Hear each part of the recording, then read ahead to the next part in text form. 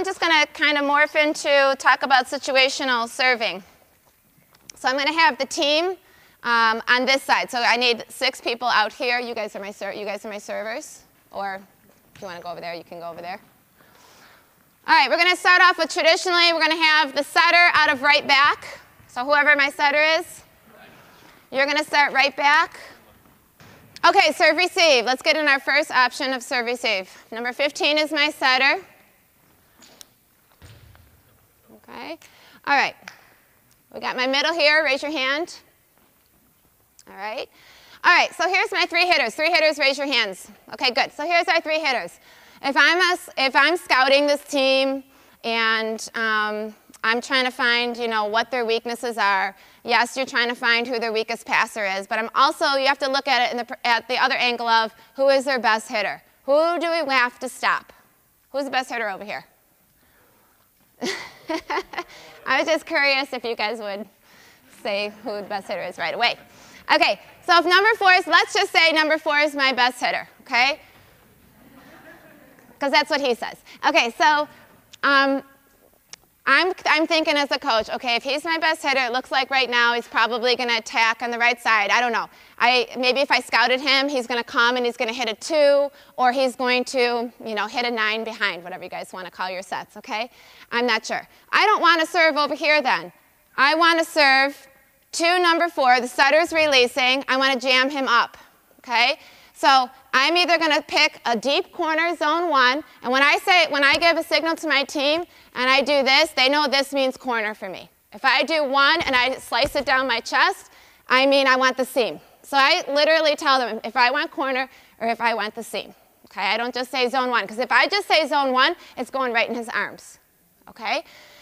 I would either serve deep zone one, or my favorite serve, I would serve right here zone two, because that's nothing if anyone in here is a setter, you know that that's the most frustrating ball when it's served really short and you're all jammed up, okay? So I'm going to give you this, okay? All right, ready?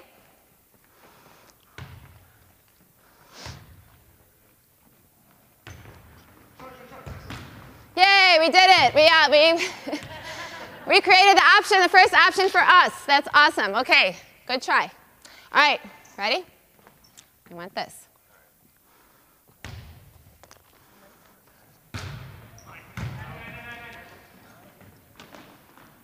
Okay, so I gave him zone one corner. He served to zone six, and we pretty much had three options then. Okay, that's okay. We got to serve over. And that's pretty tough serve, so we're not totally unsuccessful. It's okay. Corner. Get it in the corner.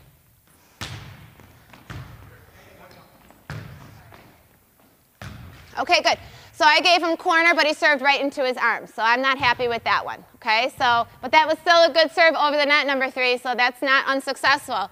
But I'm telling you, I want this, which means corner, right? Okay. Aim at their head, at their head. Yes, yes, good.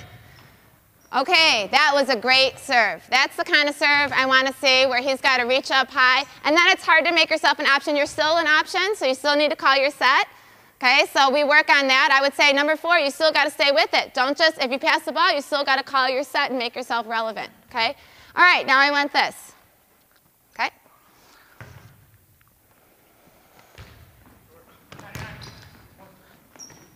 Good. Number nine did a really good job passing that short ball, so we didn't really jam up the middle. So let's say number four, okay, maybe he's not our best hitter. And I'm not saying that you are or aren't. I'm just hypothetical situation. Let's say number 11 now is our focus, and he's our best hitter, and he's going to, do you guys hit slides? Yeah. Okay, let's say you're going to come around his slide, you're going to hit a two. Okay, so what would I do in this scenario? Well, I'm either going to serve zone two, or I'm going to serve zone three. Okay, so let's try this. Fire!